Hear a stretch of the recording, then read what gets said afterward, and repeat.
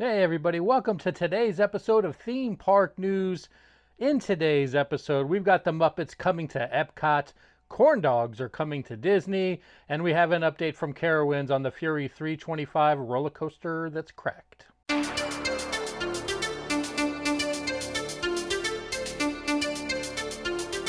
Hey everybody, thanks for checking out the channel. If you are new here, please think about hitting that like and subscribe button. I post these theme park news videos every other day, followed by cruise news in the opposite days, on top of all of our vlogging videos. So make sure you liked, you uh, are subscribed to the channel, you like this video, and you comment down below. Let me know what you thought about any of these uh, news stories in today's episode of Theme Park News. We've got three stories for today, so let's go ahead and get right on into it. All right, the first news story comes from Disney, and we're going to be talking about corn dogs. That's right, corn dogs are coming to Disney. Uh, it's actually going to be the blue ribbon corn dogs that they actually sell at Disneyland at the uh, the uh, downtown Disney. That's what it's called, downtown Disney. I always get that confused now with the Disney Springs here, since it used to be the same thing. The uh, corn dogs, blue ribbon corn dogs, coming from Disneyland's uh, downtown Disney, is actually now going to be in Florida. It's going to be at the Disney Boardwalk Resort, actually right there on the boardwalk going to be opening up a blue ribbon corn dog stand. So if you're a fan of corn dogs, then I mean, let's be honest, who doesn't love a good corn dog? You'll soon be able to pick that up if you uh, go over to uh, Disney's Boardwalk Resorts. All right, it was also announced for Disney at the Epcot in Epcot Epcot International Food and Wine Festival. The Muppets Lab is going to be coming. Uh, that is going to be Bunsen Honeydew and Beaker, seen here, are going to be at uh, the International Food and Wine Festival at Epcot. It's going to be, uh, they're going to be bringing the Muppet Labs there.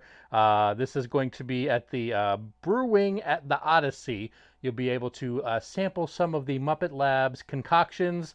Uh, some of those include the unnecessarily spicy yet extremely tasty uh, Scotch bonnet pepper curry wings. Have fun ordering that one there. Or they also have a pickle milkshake, among other things. Uh, I, I got to tell you, pickle milkshake, uh, it may taste the best, but that wording right there does not sound appetizing whatsoever. I think I will definitely be passing on the pickle milkshake, but if that's something you're into, you'll be able to pick this up at the uh, Muppet Labs at Epcot. Uh, the International Wine uh, Food and Wine Festival at Epcot that runs from the 27th of July, so just in a few more weeks, all the way through November 18th.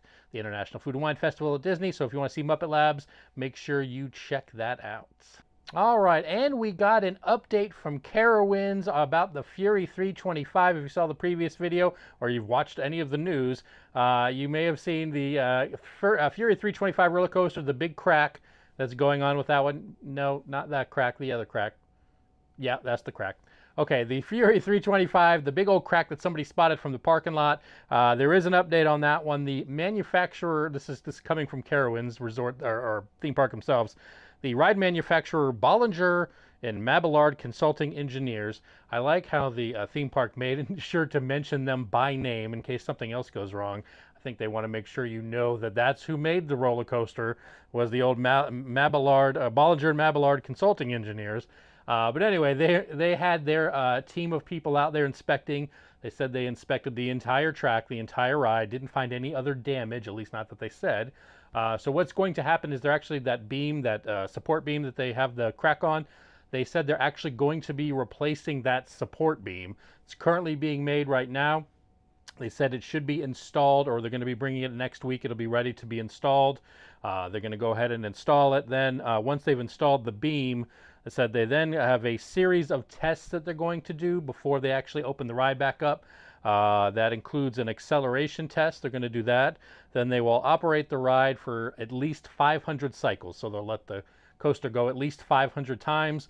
Once they've done that, checked everything out, and they're satisfied, they then said they will get a third party inspector to come in check everything themselves, and then once all of that is taken care of and everything's kind of got the, uh, you know, the A-OK, then they will open the ride back up to the general public.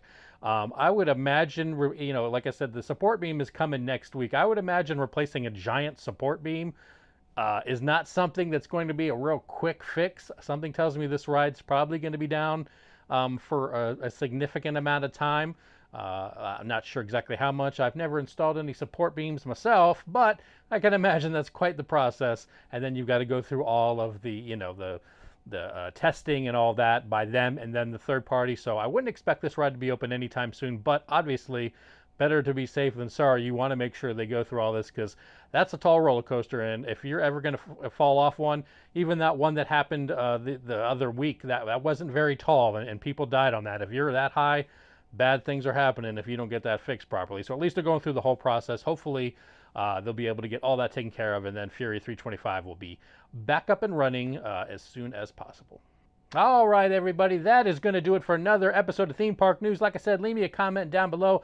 Let me know what you thought about all these news stories. And then let me ask you a question. If you're a fan of the Fury 325 and they do all these tests and hey, the ride's good to go, we're opening it tomorrow, would you be the first person in line to ride that ride after it reopens? Or would you be waiting a little bit longer? Let me know in the comments down below if, if you would be the first one to hop back on that sucker and give it the old first test ride for real people. Uh, and as always, everybody, thanks so much for watching. Uh, I will see y'all in the next video.